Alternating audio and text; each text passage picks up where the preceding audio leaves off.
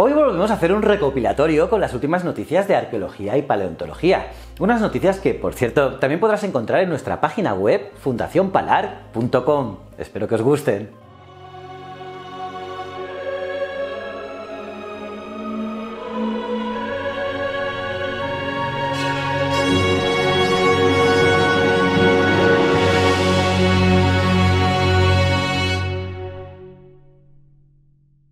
Muy bien, vamos con las noticias. Un proyecto español pakistaní se dispone a estudiar la cultura del Valle del Indo. Una de las primeras sociedades urbanas que surgieron y prosperaron en nuestro planeta ha sido la civilización que se desarrolló en el Valle del Indo entre los años 2600 y 1900 a.C.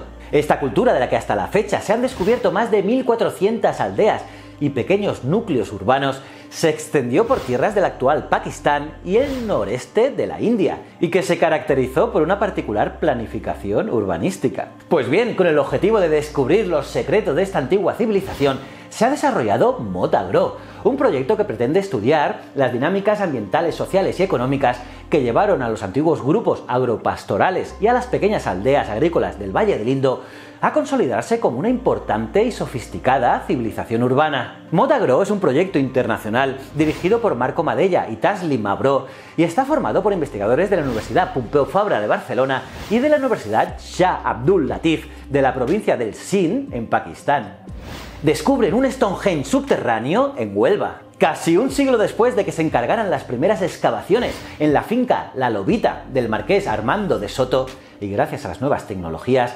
expertos de cuatro universidades españolas y otra estadounidense tienen ya los resultados definitivos. Un dolmen bajo un túmulo de 60 metros de diámetro con más de 60 grabados de figuras que portan hachas, báculos y puñales. Y muchos de ellos fueron representados con mantos de dibujos geométricos en rojo y negro sobre fondo blanco. Y su antigüedad aproximada es de unos 6.000 años. Descubren una ofrenda de guerra mexica con más de 100 estrellas de mar en Tenochtitlán, los mexicas se encontraban en la cúspide de su poderío cuando, hacia el año 1500 después de Cristo, realizaron una de sus más elaboradas ofrendas. Y es que junto al cuerpo de un jaguar armado con un propulsor de dardos llamado Atlat, y otros elementos terrestres como una figurilla de copal, dispusieron un sinfín de organismos marinos como corales, peces, globos, caracoles y el mayor número de estrellas de mar descubierto hasta ahora en estas ruinas, los arqueólogos del proyecto Templo Mayor del Instituto Nacional de Antropología e Historia, INA, han hallado hasta 164 estrellas de mar, la mayor cantidad de todas las descubiertas en el antiguo recinto sagrado de Tenochtitlán. Los esqueletos coloreados de la ciudad más antigua del mundo. El yacimiento arqueológico de Catalhoyuk es conocido como la ciudad más antigua del mundo, un asentamiento neolítico donde los esqueletos eran coloreados, una práctica funeraria sobre la que un estudio aporta nuevos datos. La investigación en la que participó la Universidad de Berna indica que los huesos se pintaron parcialmente, se excavaron varias veces y se volvieron a enterrar. Unos hallazgos que permiten conocer más sobre los rituales funerarios de una sociedad que vivió hace 9.000 años hallan la primera aldea islámica de la Sierra de Madrid.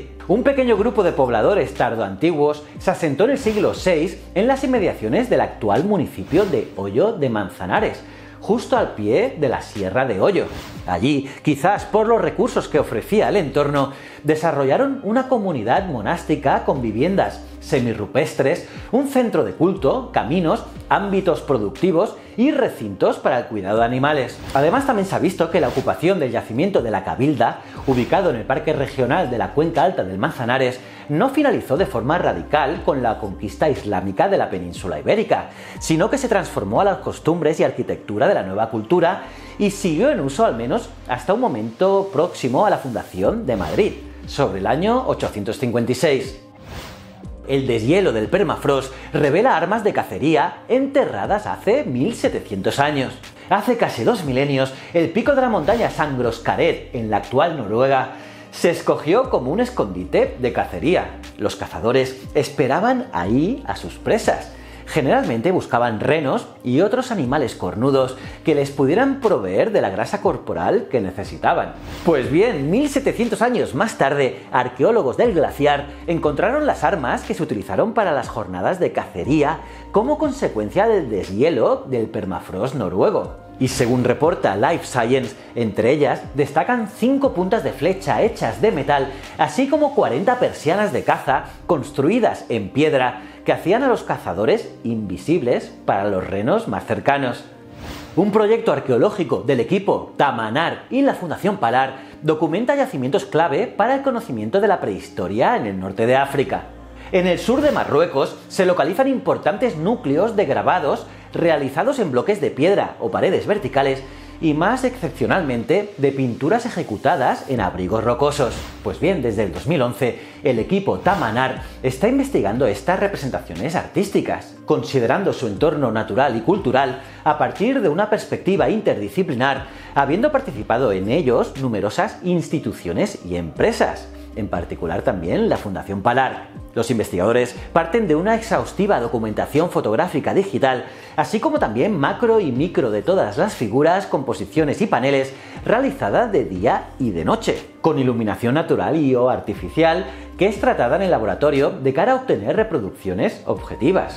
Y los trabajos de campo se centran en Tamanar y Awinet Asger y se considera también su protección, conservación, puesta en valor y difusión.